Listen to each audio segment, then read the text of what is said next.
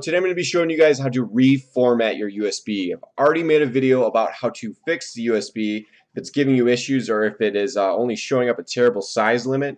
But a lot of you are using Windows 8 or you cannot reformat your USB for stable usage. So today I'm going to be showing you guys how to fix that. So I went ahead and ruined my USB again. Uh, it is showing NTFS here as you can see and I wanted to turn it to FAT32. Now, the difference between FAT32 and NTFS real quick is that N or FAT32 can only transfer up to 4 gigabyte file types, but it's more compatible or compatible with uh, multiple systems like Macs, uh, Linux, everything like that.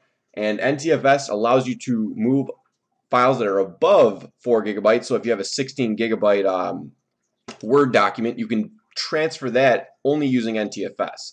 So I'm going to show you both ways here. Uh, basically, you only have to edit one command at the very end in order to change either which way. So let's get right into it. So first I want you to click on the Start button at the very bottom left hand side of your screen and you're going to type in CMD at the bottom here and hit the Enter key. This command prompt will then pull up. I then want you to first type COMP and then hit the Enter key Uh, administrative prompt might come up. Go ahead and click yes, it's fine.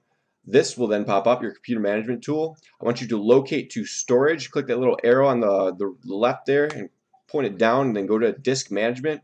This will show all of your active drives inside of your computer. I want you to go down directly to removable and remember the number that is next to your disk. This is very pertinent to remember because you can end up wiping another operating system if you have multiple hard drives inside of your computer.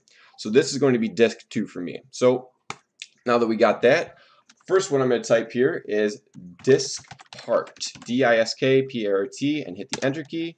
Administrative prompt will probably come up again, that's fine, just click yes. Now a separate subcommand line with diskpart as the first section will come up.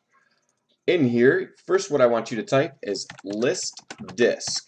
This will, ooh, list, I can type, there we go and this will show all of your active disks in here. Uh, again, it's disk number two for me. If you don't know, go back to computer management and see the number next to removable. So it's going to be disk two. Now the following command from here is going to be, and I'll go ahead and put the computer management tool right in the background there so you can see what happens, is I'm going to go type in select disk 2. Now the disk is selected.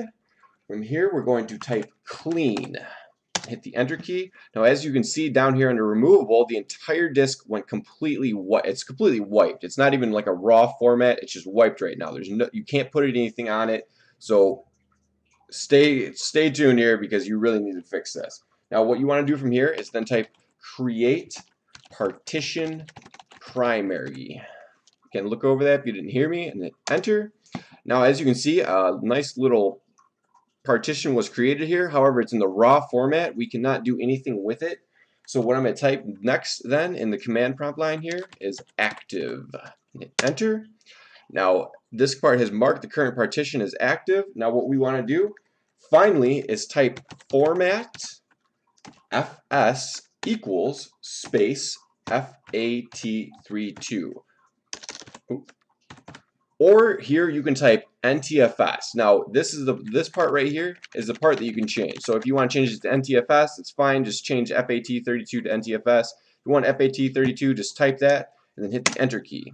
Now this is probably going to take, for me it can take up to 10 minutes, but it's going to completely format the USB from here. As you can see in your computer management tool, you can see it formatting. You don't have to leave this uh, command prompt line up. You can close out of it. However, don't remove your USB and let this finish off here. So again, it can take a little while, but thank you for watching. I hope this helps you out. You have a great day.